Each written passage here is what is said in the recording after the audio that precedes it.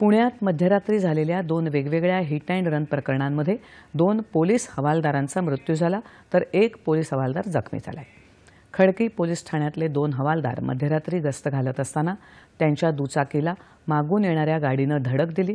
या धडकेत समाधान कोळी या पोलीस हवालदाराचा जागीच मृत्यू झाला तर पी सी शिंदे जखमी झाले. दुसऱ्या एका अपघातात पुणे सीआयडीमधल्या पोलीस हवालदार सचिन माने यांचा मृत्यू झाला. दरम्यान मुंबईत वरळी इथे झालेल्या हिट अँड रन प्रकरणी अटक करण्यात आलेले आरोपी मिहिर शहा याचे वडील राजेश शहा यांना शिवडी न्यायालयानं जामीन मंजूर केला आहे आरोपी राजेंद्र सिंग बिडवत आणि राजेश शहा यांना शिवडी न्यायालयात हजर करण्यात आलं. सुनावणीनंतर त्यांना न्यायालयीन कोठडी देण्यात आली होती. दरम्यान राजेश शहा यांनी जामिनासाठी याचिका दाखल केली.